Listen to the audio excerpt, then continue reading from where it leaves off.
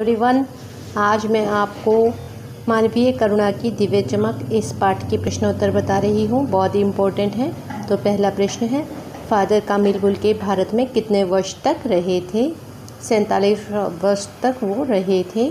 सर्वेश्वर दयाल का नाटक कौन सा है? तो उनका नाटक है बकरी। फादर की आँखें कैसी थी? फादर की आँखें थी नीली। क्वेश्चन है, सर्वेश्वर दयाल किस पत्रिका के संपादक थे? तो पराग पत्रिका उन्होंने, उसके वो संपादक थे, एडिटर थे। लेखक को किसके वे दिन याद आते हैं? जब वे एक पारिवारिक रिश्ते में बंधे थे। परिमल के दिन उन्हें याद आते हैं। लेखक का फादर से कहाँ से संबंध था? इलाहाबाद से उनका संबंध था। फादर के मन में पढ़ाई के दौर में क्या इच्छा हुई? सन्यासी बनने की उनके मन में इच्छा आई थी। फादर कामिल बुल्के की जन्मभूमि कौन सी थी? Rhames chapel. फादर बुल्के के अभिन्न मित्र कौन थे? डॉक्टर रघुवंश। फादर ने किस संघ में दो साल पादरियों के बीच धर्माचार की पढ़ाई की?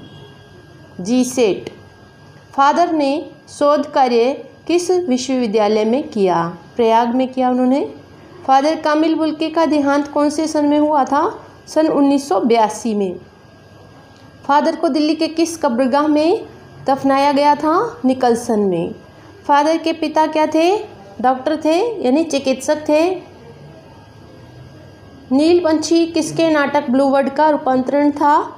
मातरलिंक फादर बुल के धरती में जा रहे हैं। ऐसे वंश और पैदा हों। यह शब्द किसने कहे थे? फादर पास्कल ने। फादर का देहांत किस फोड़े से हुआ था? जहरवाद के फोड़े से। फादर ने इंजीनियरिंग की पढ़ाई कौन से वर्ष में छोड़ दी थी? उन्होंने थर्ड ईयर में इंजीनियरिंग की पढ़ाई को छोड़ दिया था। फादर के साथ खड़े होना ऊंचाई पर किसकी छाया में खड़े होने जैसा था? देवदारू। देवदारू एक वृक्ष होता है जिसकी घनी छाया होती है। लेखक ने फादर कामिल बुल्के की साइकिल कहाँ की सड़कों पर चलती हुई देखी? दिखाई देने की बात कही है इलाहाबाद। तो इस तरह के और प्रश्न पढ़ने के लिए आप चैनल को सब्सक्राइब कर लीजिए, साथ ही बेल बटन को भी प्रेस कीजिए, जिससे आपको सारे नोटिफिकेशंस मिल जाए। Thank you for watching